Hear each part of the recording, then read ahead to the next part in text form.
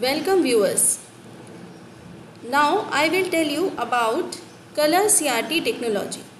CRT was the most important display technology for color TVs and computer monitors.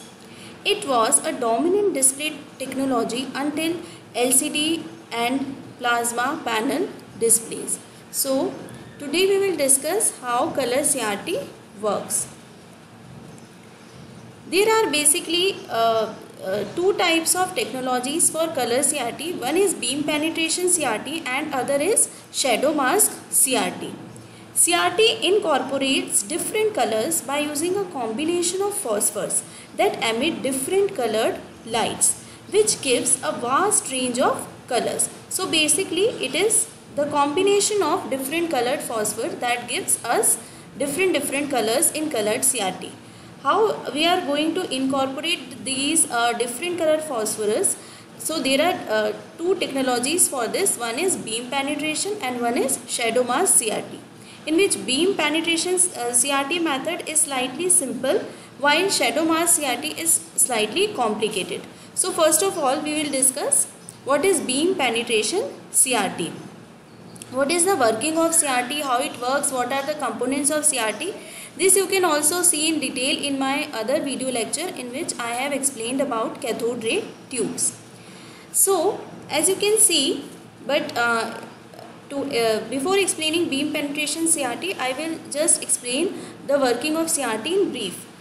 So as you can see there is an electron gun which is actually a cathode. As you can see here there is an electron gun which is actually a cathode which emits electrons when it gets heated. Then there is a focusing system. In uh, focusing system is required because we need a highly focused electron beams so that electrons that are emitting from these uh, electron gun does not do not get scattered inside the tube and forms an electron beam. After that there is a deflection system which consists of a horizontal deflection system and a vertical deflection system a pair of horizontal deflection plates are there and there is a pair of vertical deflection plates. So deflection system is needed so that electron beam strikes at a desired specific xy coordinate position, the specific position of the screen. So uh, we need to set the left or right position by horizontal deflection plates and also we require to set the upward or downward position by using vertical deflection plates. When this electron beam strikes the phosphor coated screen, it is stopped by the screen and its kinetic energy is absorbed by the phosphor that was that is coated inside the screen. This causes electrons in the phosphor atom to move to a higher quantum energy level. But as its tendency is there, uh, to come to a stable state, so after a while it again comes to a stable state and releases energy. This energy is released in the form of light. So phosphor is a special element that releases the energy in the form of light so that you can see a bright spot of light at that point where uh, at that point on the screen where this electron beam strikes the phosphor. In this way we can create bright spots on the screen. So this is the basic functioning of the CRT where there is an electron gun focusing system and deflection system. Now we come to the beam penetration CRT. For beam penetration CRT, two layers of phosphor is coated inside the CRT screen. As you can see, there is a green layer which is coated and there is a red layer which is coated inside the beam penetration CRT. So displayed color depends on how far this electron beam penetrates into the phosphor layer. A beam of very slow electron beam will be able to strike only the red layer and you can see the red spot on the screen. But a very fast electron beam will go through this, will pass through this red layer and it goes and it uh, goes further and strikes the green layer.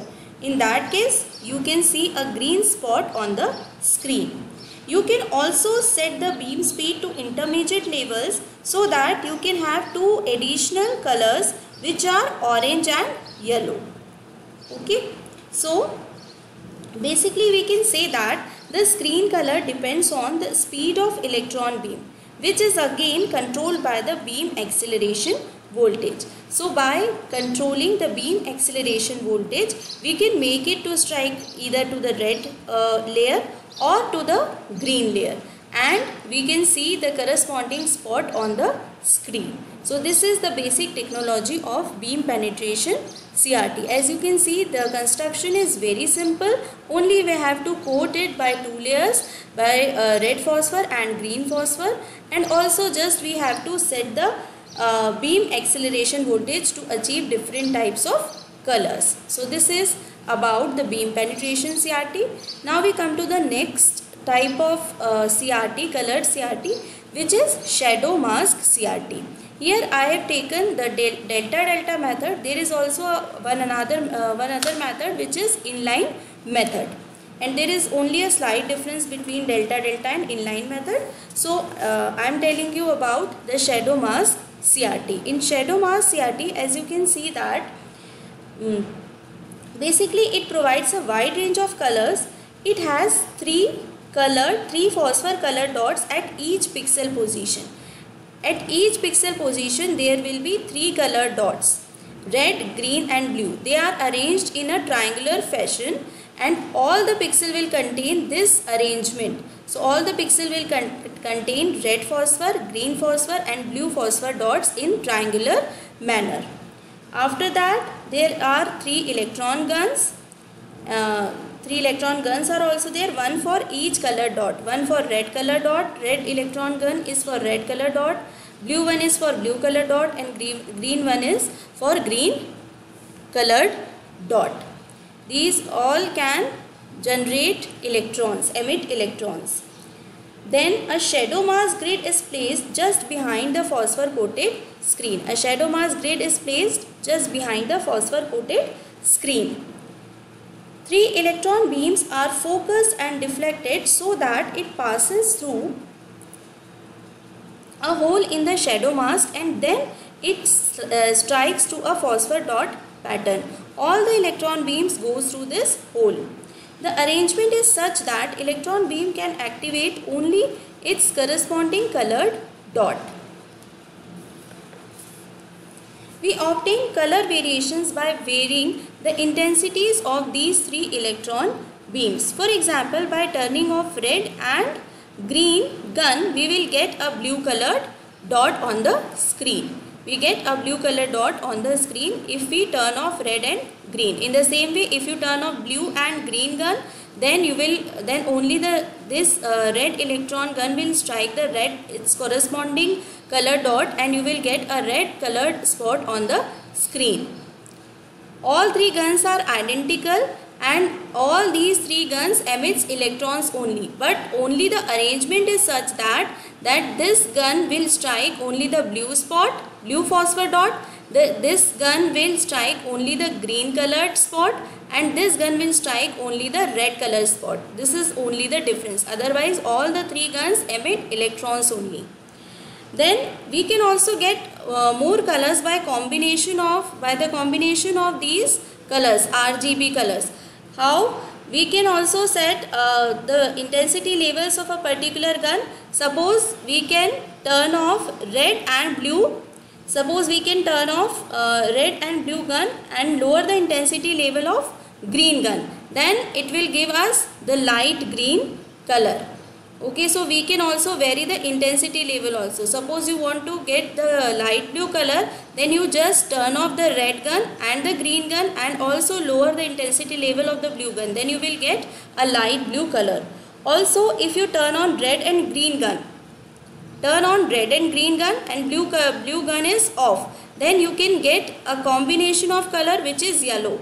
Then you will get a yellow colored spot on the screen. In this way you can combine various types of guns and you can make to uh, strike them to different color dots and you can get a very uh, a very uh, multiple options and have millions of different shades by the combination of these three colors RGB.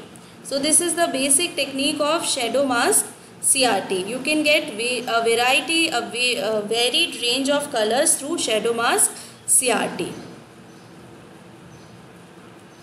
Yes, so in uh, brief, we can see that the working of beam uh, penetration and shadow mask CRT. Here is a comparison or you can say the difference between the beam penetration and shadow mask CRT.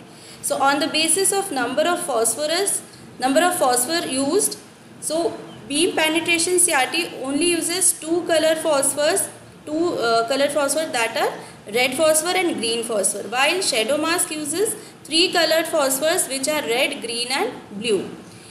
And now we see the electron gun. So beam penetration only uses one electron gun while shadow mask uses three electron guns.